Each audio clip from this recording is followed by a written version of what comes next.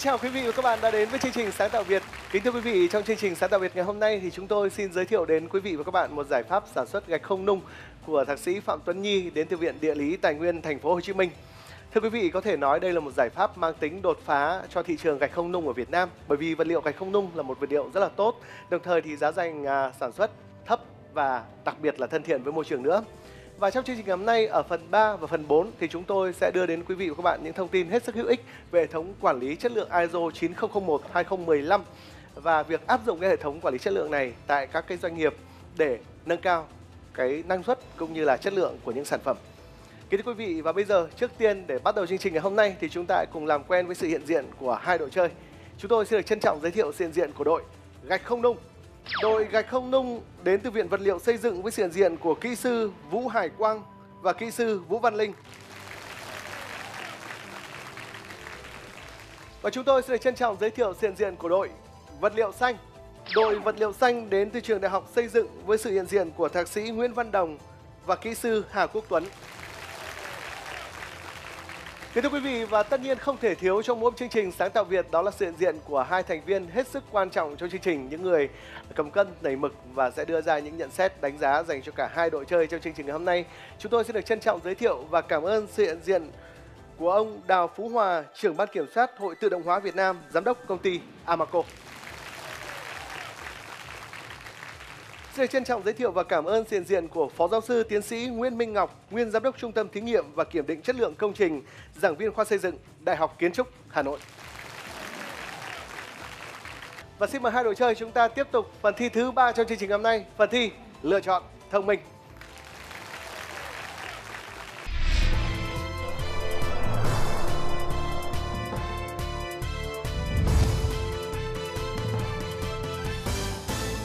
Chào mừng quý vị và các bạn đã đến với phần thi thứ ba trong chương trình ngày hôm nay, phần thi lựa chọn thông minh. Kính thưa quý vị, trong hoạt động sản xuất, kinh doanh, bên cạnh việc áp dụng các công nghệ mới thì rõ ràng là việc tìm hiểu và áp dụng các công cụ cải tiến hệ thống quản lý để nâng cao năng suất, chất lượng cho sản phẩm, hàng hóa có một vai trò có thể nói là vô cùng quan trọng. Chính vì vậy trong phần 3 này thì chương trình chúng tôi sẽ có hai tình huống với hai câu hỏi trách nhiệm dành cho các đội chơi của chúng ta.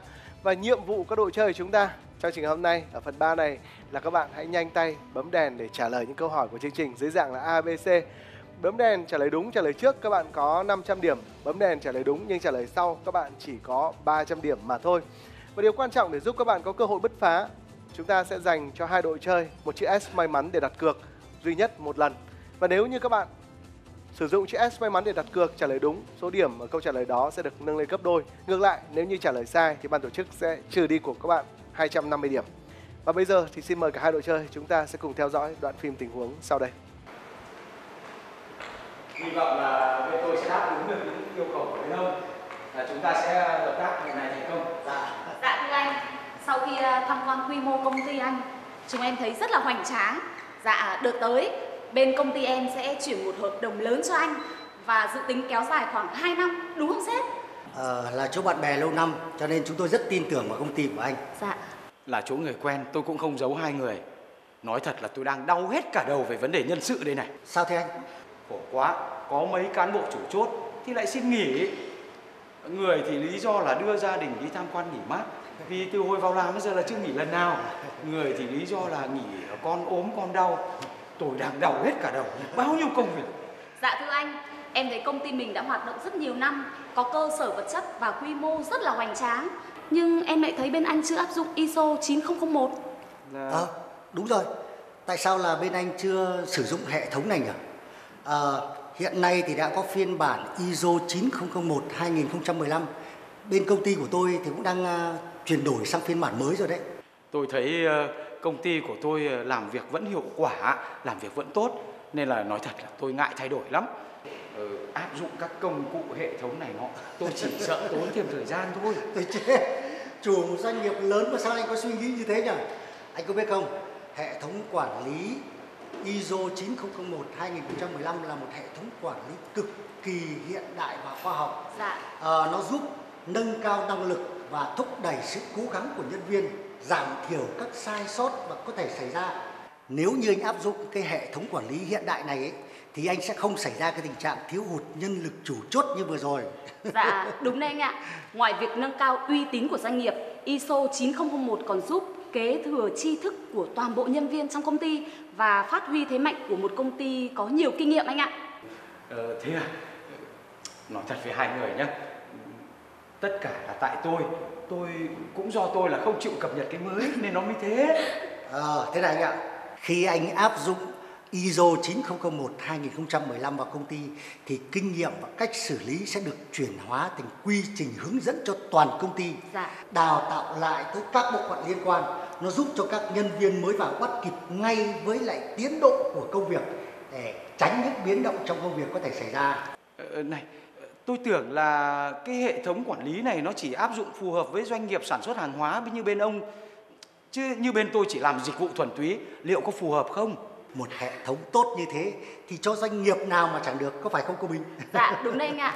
Tốt quá, tôi sẽ nghiên cứu và cho áp dụng ngay. Dạ vâng ạ. Sau khi đã theo dõi đoạn phim tình huống thì câu hỏi mà ban tổ chức dành đến cho hai đội chơi chúng ta như sau. ISO 9001-2015 là hệ thống tiêu chuẩn về quản lý chất lượng. Hệ thống tiêu chuẩn này được xây dựng để áp dụng cho những loại hình tổ chức, doanh nghiệp nào? A.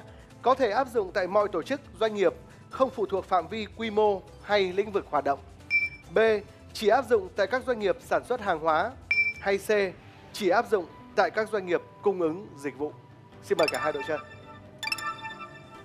Như vậy là hai đội chơi chúng ta đã có tín hiệu trả lời. Đội vật liệu xanh, các bạn đưa ra phương án trả lời A và đội gạch không nung thì các bạn có lựa chọn khác đó là phương án trả lời B. Bây giờ thì chúng ta sẽ chờ xem đáp án chính xác từ chương trình là gì. Thưa các bạn, trong nội dung của hệ thống tiêu chuẩn ISO 9001 phiên bản 2008 quy định rằng một dịch vụ là một dạng sản phẩm. Nhưng đến phiên bản ISO 9001 2015, cụm từ các sản phẩm và dịch vụ được sử dụng trong suốt tiêu chuẩn mới và thuật ngữ dịch vụ đã có được định nghĩa riêng của nó. Điều này giúp làm rõ rằng tiêu chuẩn ISO 9001-2015 không chỉ áp dụng cho các nhà sản xuất mà còn có thể áp dụng cho tất cả các loại hình của các nhà cung cấp dịch vụ và các tổ chức khác không phụ thuộc vào quy mô hay lĩnh vực hoạt động. Với giải thích như vậy thì rõ ràng phương án A là phương án trả lời đúng. Chúng tôi xin chúc mừng đội vật liệu xanh. Chúc mừng các bạn. Như vậy là đội vật liệu xanh là đội đưa ra phương án trả lời đúng ở câu hỏi này. Và với việc trả lời đúng các bạn cộng thêm vào quỹ điểm của mình 500 điểm nữa và mức điểm của các bạn sau khi đã vượt qua được câu hỏi đầu tiên ở phần thi thứ ba này đó là 5.700 điểm tương đương với 5 triệu 700 ngàn đồng. Xin chúc mừng. Với đội gạch không nung thì các bạn đã không trả lời chính xác ở câu hỏi này. Lựa chọn các bạn là phương án B. Bởi vậy thì số điểm các bạn vẫn giữ nguyên là 5.100 điểm, tương đương với 5 triệu 100 ngàn đồng. Và chắc chắn rồi, hai thành viên từ đội vật liệu xanh sẽ là những thành viên cùng chúng tôi tham gia phần thi cuối cùng trong chương trình sáng tạo Việt ngày hôm nay, phần thi đặc biệt.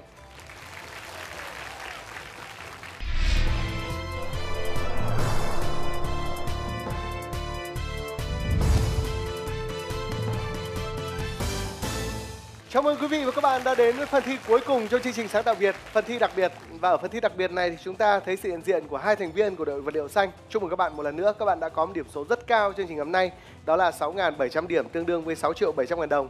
Và nếu ở phần thi này các bạn làm thật tốt nữa thì các bạn có thể nhận được một phiếu mua hàng trị giá là 5 triệu đồng nữa. Và để hoàn thành phần thi này thì à, các bạn cần phải trả lời 5 câu hỏi uh, liên quan đến những cái kiến thức uh, của chủ đề ngày hôm nay trong khoảng thời gian rất ngắn thôi, 60 giây và mỗi câu hỏi chúng ta có tối đa là hai lượt trả lời. Nếu như trả lời đúng cả 5 câu hỏi, chúng tôi nhắc lại là các bạn sẽ nhận được phần thưởng là một phiếu mua hàng trị giá 5 triệu đồng từ ban tổ chức chương trình. À, hai thành viên của đội chơi chúng ta đã làm rất là tốt trong suốt trình ngày hôm nay và hy vọng là ở phần thi cuối cùng này, phần thi đặc biệt thì các bạn sẽ làm tốt hơn nữa để có thể có được cái phần thưởng rất xứng đáng dành cho các bạn. Các bạn rõ luật chưa ạ? Rõ. Vâng. Và bây giờ thì hai thành viên à, chúng ta sẵn sàng chưa ạ? sẵn sàng. Vâng. 60 giây. Bắt đầu. Câu 1 tiêu chuẩn ISO 9001-2015 được tổ chức tiêu chuẩn hóa quốc tế chính thức ban hành vào thời gian nào? A 15 tháng 5 2015, B 15 tháng 7 2015 hay C 15 tháng 9 2015? C. Đúng.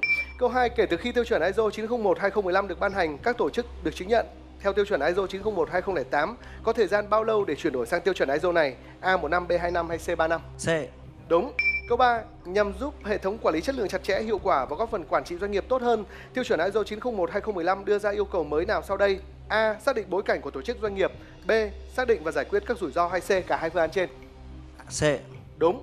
Câu 4. Tiêu chuẩn ISO 9001-2015 tập trung giải quyết các vấn đề nào? A. Tập trung các vấn đề của hệ thống và vào sự hài lòng của khách hàng. B. Tập trung vào chọn lựa rủi ro trong toàn bộ tổ chức. C. Tập trung vào giải quyết tai nạn lao động. B. Sai. Câu 5. Giấy chứng nhận ISO 9001 đã được cấp cho một tổ chức sẽ có thời hạn trong 3 năm và được thừa nhận trong phạm vi nào? A. Địa phương tổ chức đặt trụ sở. B. Quốc gia cấp chứng nhận hay C. Toàn thế giới? C. Đúng. Câu 4. Tiêu chuẩn ISO 9001-2015 tập trung giải quyết các vấn đề nào? A. Tập trung các vấn đề của hệ thống và sự hài lòng của khách hàng hay C. Tập trung vào giải quyết tai nạn lao động? A. Câu A là đáp án của các bạn. Câu trả lời chính xác chúng ta tiêu chuẩn ISO 9001-2015 tập trung giải quyết các vấn đề của hệ thống và vào sự hài lòng của khách hàng. Đó là phương án trả lời đúng. Xin chúc mừng các bạn. Vâng, chúc mừng hai thành viên à, của đội vật liệu xanh. Đó là một cái à, thắng lợi rất xứng đáng như vậy các bạn đã ở giờ phút gần như cuối cùng rồi trả lời thành công và các bạn nhận thêm về ngoài cái số điểm là 6.700 điểm tương đương với 6 triệu 700 ngàn đồng là một phiếu mua hàng trị giá 5 triệu đồng nữa từ ban tổ chức. Xin chúc mừng hai thành viên. Quý vị và các bạn thân mến, như vậy thì theo dự tính đến khoảng à, năm 2020 Việt Nam chúng ta sẽ có nhu cầu sử dụng khoảng hơn 40 tỷ viên gạch cho việc xây dựng. Chính vì vậy thì việc đầu tư sản xuất gạch không nung sẽ hướng tới sự phát triển bền vững và có tác động có thể nói là rất to lớn đến với môi trường sống của chúng ta. Chính vì vậy thì trong thời gian tới chúng ta hoàn toàn có thể hy vọng vào thị trường tiềm năng cho giải pháp công nghệ gạch không nung của thạc sĩ Phạm Tuấn Nhi. Chương trình Sáng tạo Việt xin được dừng lại ở đây. Một lần nữa chúng tôi cảm ơn quý vị và các bạn đã quan tâm theo dõi chương trình ngày hôm nay. Hy vọng là sẽ được gặp lại quý vị và các bạn trong chương trình kỳ tới.